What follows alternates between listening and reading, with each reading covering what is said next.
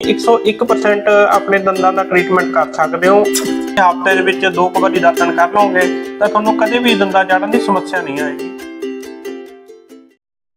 ਸਤਿ ਸ਼੍ਰੀ ਅਕਾਲ ਦੋਸਤੋ। ਤੁਸੀਂ ਦੇਖ ਰਹੇ ਹੋ ਜੀ ਡੀਐਸ ਤਲਾਣੀਆਂ YouTube ਚੈਨਲ ਤੇ ਮੈਂ ਹਾਂ ਧਰਮਿੰਦਰ ਸਿੰਘ, ਪਿੰਡ ਤਲਾਣੀਆਂ, ਜ਼ਿਲ੍ਹਾ ਫਤਿਹਗੜ੍ਹ ਸਾਹਿਬ ਤੋਂ। ਦੋਸਤੋ ਅੱਜ ਕੱਲ ਦੰਦਾਂ ਜੜਨ ਦੇ ਵਿੱਚ ਕਾਫੀ ਜਿਹੜੀ ਸਮੱਸਿਆ ਵੱਧਦੀ ਜਾ ਰਹੀ ਹੈ। ਸਾਡੇ ਕੋਲ ਕਈ ਸਾਰੇ ਪੇਸ਼ੈਂਟ ਆਉਂਦੇ ਆ ਜਿਨ੍ਹਾਂ ਦੇ ਅਹ, ਜਿਨ੍ਹਾਂ ਨੇ ਆਪਣਾ ਦੰਦਾਂ ਦਾ ਟ੍ਰੀਟਮੈਂਟ ਕਰਵਾਉਣ ਤੋਂ ਬਾਅਦ ਵੀ ਉਹਨਾਂ ਦੀ ਸਮੱਸਿਆ ਦਾ ਹੱਲ ਨਹੀਂ ਹੋਇਆ। ਸੋ ਤੁਹਾਨੂੰ ਅੱਜ ਇੱਕ ਇਦਾਂ ਦਾ ਘਰੇਲੂ ਨੁਸਖਾ ਦੱਸਾਂਗਾ ਜਿਸ ਨੂੰ ਅਪਣਾਉਣ ਤੋਂ ਬਾਅਦ ਤੁਹਾਨੂੰ ਕਦੇ ਵੀ ਦੰਦਾਂ ਜਾਣਨ ਦੀ ਸਮੱਸਿਆ ਨਹੀਂ ਆਏਗੀ।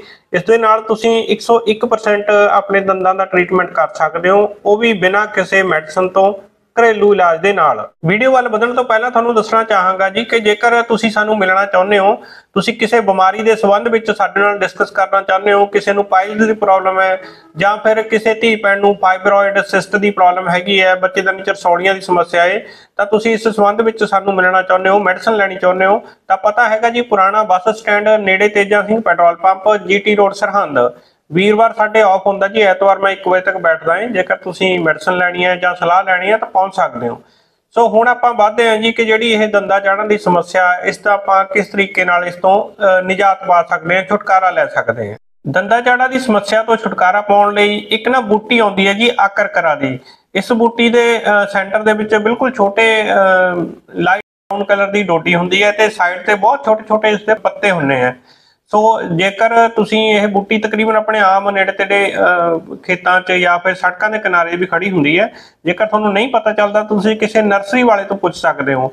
ਤੇ ਜੇਕਰ ਤੁਹਾਨੂੰ ਇਹ ਬੂਟੀ ਚਾਹੀਦੀ ਹੈ ਤਾਂ ਸਾਡੇ ਕੋਲੋਂ ਵੀ ਮਿਲ ਜਾਂਦੀ ਹੈ ਜੀ, ਅਸੀਂ ਵੀ ਪ੍ਰੋਵਾਈਡ ਕਰਵਾ ਦਿੰਨੇ ਆ ਤੁਸੀਂ ਆਪਣੇ ਘਰ ਦੇ ਵਿੱਚ ਲਾਓ, ਜਿਵੇਂ ਕਿ ਪੁਦੀਨਾ ਹੁੰਦਾ ਜੀ, ਉਸ ਟਾਈਪ ਦੀ ਇਹ ਬੂਟੀ ਹੁੰਦੀ ਹੈ ਤੇ ਕਾਫੀ ਜ਼ਿਆਦਾ ਇਹ ਵੱਧਦੀ ਹੈ। ਜੇਕਰ ਤੁਹਾਡੇ ਮਸੂੜਿਆਂ ਦੇ ਵਿੱਚ ਸੋਜ ਆਈ ਹੋਈ ਹੈ, ਤੁਹਾਡੇ ਆਪਣੀ ਗੱਲ ਦੇ ਉੱਤੇ ਸੋਜ ਆਈ ਹੋਈ ਹੈ, ਤੁਸੀਂ ਦਰਦ ਤੋਂ ਕੁਰਲਾ ਰਹੇ ਹੋ, ਤਾਂ ਇਸ ਬੂਟੀ ਦੇ ਦੋ ਫੁੱਲ ਤੋੜ ਕੇ ਤੁਸੀਂ ਆਪਣੀ ਜੜ ਦੇ ਵਿੱਚ ਜਿਸ ਸਾਈਡ ਤੁਹਾਡੇ ਦਰਦ ਹੈ, ਉੱਥੇ ਰੱਖ ਲੈਣੇ ਆ ਤੇ ਇਸ ਦੇ ਨਾਲ ਦੰਦਾ ਜੜਨ ਦੀ ਜਿਹੜੀ ਤਕਲੀਫ ਹੈ, ਬਹੁਤ ਛੇਤੀ ਉਸ ਤੋਂ ਆਰਾਮ ਆ ਜਾਂਦਾ ਹੈ। ਇਹ ਇੰਨੀ ਕਾਰਗਰ ਹੈ ਜੀ ਕਿ ਤੁਹਾਨੂੰ ਕਿਸੇ ਕਹਿ ਲਓ ਡਾਕਟਰ ਕੋਲ ਜਾਣ ਦੀ ਵੀ ਜ਼ਰੂਰਤ ਨਹੀਂ ਪੈਣੀ। ਦੂਸਰਾ ਹੈਗਾ ਜੀ ਕਿ ਜਿਹੜੀ ਬੋੜ ਦੀ ਦਾੜੀ ਲੰਮਕਦੀ ਹੁੰਦੀ ਹੈ, ਉਸ ਦੀ ਦਾਤਣ ਕਰਿਆ ਕਰੋ ਹਫ਼ਤੇ 'ਚ ਤਿੰਨ ਵਾਰੀ। ਤੇ ਜੇਕਰ ਤੁਹਾਨੂੰ ਜ਼ਿਆਦਾ ਤਕਲੀਫ ਹੈ ਤਾਂ ਤੁਸੀਂ ਰੋਜ਼ ਵੀ ਕਰ ਸਕਦੇ ਹੋ। ਇੱਕ ਮਹੀਨਾ ਅਹ, ਦਾਤਣ ਕਰਨ ਤੋਂ ਬਾਅਦ ਜਦੋਂ ਤੁਹਾਡੀ ਤਕਲੀਫ ਇਹ ਚਲੀ ਜਾਏਗੀ ਫਿਰ ਤੁਸੀਂ ਹਫ਼ਤੇ ਦੇ ਵਿੱਚ ਦੋ ਕੁ ਵਾਰੀ ਦਾਤਣ ਕਰ ਲਓਗੇ ਤਾਂ ਤੁਹਾਨੂੰ ਕਦੇ ਵੀ ਦੰਦਾਂ ਜੜਨ ਦੀ ਸਮੱਸਿਆ ਨਹੀਂ ਆਏਗੀ।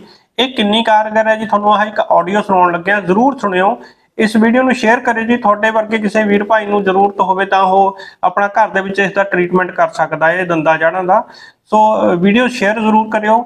ਤੇ ਵੀਡੀਓ ਦੇਖਿਓ ਜੀ ਪੂਰੀ ਭੈਣ ਨੂੰ ਕਿੰਨੀ ਪ੍ਰੋਬਲਮ ਸੀਗੀ। ਕਿਸ ਕੰਡੀਸ਼ਨ ਹੱਦ ਤੱਕ ਉਹਨਾਂ ਦੇ ਜਿਹੜੇ ਦੰਦਾਂ ਦੀ ਸਮੱਸਿਆ ਜੜਨ ਦੀ ਪਹੁੰਚੀ ਹੋਈ ਸੀ ਤੇ ਕਿੰਨਾ ਇਸ ਘਰੇਲੂ ਨੁਸਖੇ ਨੇ ਉਹਨਾਂ ਨੂੰ ਫਾਇਦਾ ਕੀਤਾ। ਜ਼ਰੂਰ ਦੇਖਿਓ ਤੁਹਾਨੂੰ ਵੀ ਹੌਸਲਾ ਹੋਏਗਾ ਕਿ ਅਸੀਂ ਵੀ ਇਸ ਸਮੱਸਿਆ ਦੇ ਵਿੱਚੋਂ ਨਿਕਲ ਸਕਦੇ ਹਾਂ। ਮੇਰੇ ਨਾ ਅਚਾਨਕ ਜਾੜਨ ਦੇ ਆਲੇ ਦੁਆਲੇ ਨਾ ਬਹੁਤ ਬੜੇ ਬੜੇ ਛਾਲਿਆਂ ਵਾਂਗੂ ਉਹ ਸੋਜਿਸ ਆ ਗਈ ਸੀ। ਅੱਛਾ ਜੀ। ਮੂੰਹ ਤੇ ਵੀ ਸੋਜਿਸ ਕਾਫੀ ਆ ਗਈ। ਪਹਿਲਾਂ ਅੰਗਰੇਜ਼ੀ ਦਵਾਈ ਖਾਧੀ ਸੀ। ਫਿਰ ਉਹਦੇ ਬਾਅਦ ਫਿਰ ਅਸੀਂ ਮਰੰਡੇ ਡਾਕਟਰ ਦੇ ਗਏ ਤੇ ਉਹ ਕਹਿੰਦੇ ਵੀ ਪੈਸੇ ਜਮ੍ਹਾਂ ਕਰਾ ਦਿਓ ਤੁਹਾਡੇ ਆਪਰੇਸ਼ਨ ਕਰਕੇ ਜਾੜਾਂ ਕੱਢਣੀਆਂ ਪੈਣੀਆਂ। ਠੀਕ ਹੈ ਜੀ। ਉਹਦੇ ਬਾਅਦ ਫਿਰ ਤੁਹਾਡਾ ਨੈਟ ਤੇ ਆ ਪੜਿਆ ਵੀ ਤੁਸੀਂ ਦੱਸਿਆ ਵੀ ਬੋਰਡ ਦੀਆਂ ਜਿਹੜੀਆਂ ਦਾੜੀਆਂ ਹੁੰਦੀਆਂ ਵੀ ਉਹਦੀ ਤੁਸੀਂ ਦਾਤਣ ਕਰੋ। ਫਿਰ ਉਹਦੀਆਂ ਦਾੜੀਆਂ ਦੀਆਂ ਅਸੀਂ ਦਾਤਣ ਅਸੀਂ ਮੈਂ ਫ੍ਰਿਜ ਵਿੱਚ ਪੱਕੀ ਹੋ ਰੱਖੀ ਹੋਈ ਹੈ ਹਫ਼ਤੇ ਵਿੱਚ ਨੂੰ ਇੱਕ ਵਾਰੀ ਕਰਦੀ ਜਿਸ ਤਰ੍ਹਾਂ ਤੁਸੀਂ ਕਿਹਾ। ਹੂੰ ਬਹੁਤ ਵਧੀਆ ਉਹ ਚੀਜ਼ ਹੈ। ਦਿਨਾਂ ਵਿੱਚ ਮੈਂ ਲਗਾਤਾਰ ਕੀਤੀ ਹੈ ਦੋ ਦੋ ਵਾਰੀ। ਫਿਰ ਮੈਂ ਕੇਲੇ ਔਰ ਉਤੇ ਬ੍ਰੈਡ ਖਾ ਖਾ ਕੇ ਹੀ ਗੁਜ਼ਾਰਾ ਕਰਦੀ ਸੀ ਦੁੱਧ ਪੀ ਕੇ ਬਸ ਖਾਣਾ ਤਾਂ ਖਾਦਾ ਹੀ ਨਹੀਂ ਗਿਆ 20 22 ਦਿਨ। ਅੱਛਾ ਜੀ। ਚਲੋ ਮੇਰੇ ਘਰ ਦੇ ਕਹਿਣ ਲੱਗੇ ਵੀ ਫਿਰ ਕਿਤੇ ਹੋਰ ਨਾ ਕੈਂਸਰ ਬਣ ਜਾਵੇ ਤੁਸੀਂ ਵੀ ਹਾਂਜੀ। ਤੂੰ ਉਹੀ ਟ੍ਰੀਟਮੈਂਟ ਕਰਵਾ ਸਾਰੇ ਰਿਸ਼ਤੇਦਾਰ ਵੀ ਕਹਿਣ ਲੱਗ ਗਏ। ਮੈਂ ਕਿਹਾ ਨਹੀਂ ਮੈਨੂੰ ਇੱਕ ਵਾਰੀ ਦੇਖ ਲੈਣ ਦਿਓ ਚਾਰ ਪੰਜ ਦਿਨ ਤਾਂ ਮੈਨੂੰ ਕੁਝ ਨਹੀਂ ਪਤਾ ਲੱਗਿਆ।